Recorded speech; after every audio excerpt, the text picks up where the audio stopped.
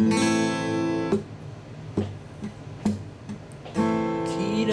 れているような気がしてた帰り道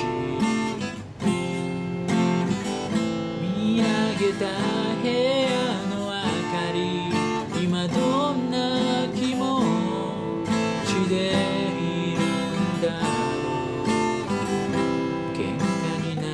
ればすぐ謝る弱くてあなたはずるい人。涙色声が聞こえない夜は困らせてしまうほど。わがまま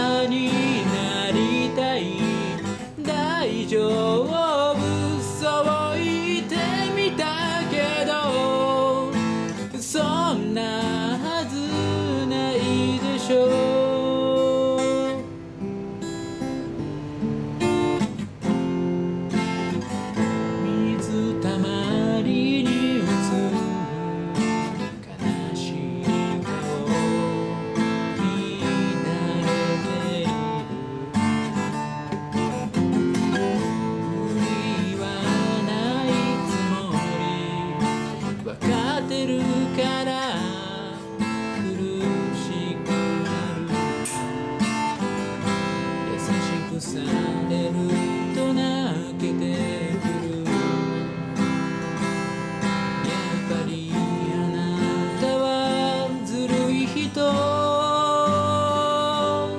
涙色声が聞こえない夜は困らせてしまうほど。わがままに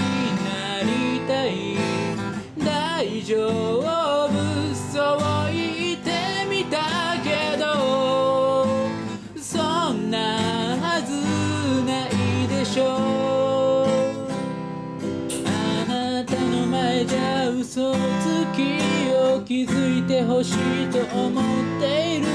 そんなに強いわけじゃないからね。私。涙こぼさない。決めていたのに。困らせてしまうよね。わがまま